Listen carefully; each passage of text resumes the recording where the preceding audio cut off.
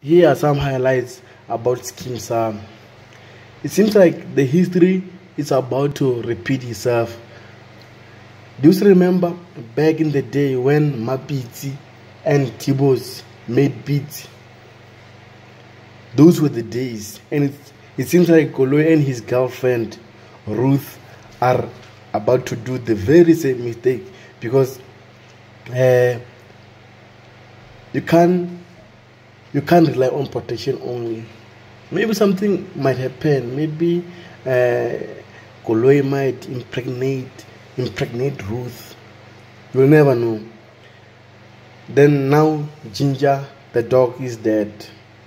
Tbose is very hurt.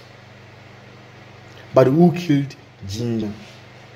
The postmortem revealed that Ginger is dead because of poison. I suspect that Dumisani poisoned the dog because this guy is a psychopath. He's got anger. We all know him. Maybe he want to get Leeto's attention. Who knows? He killed a person and still live freely at Turfloop.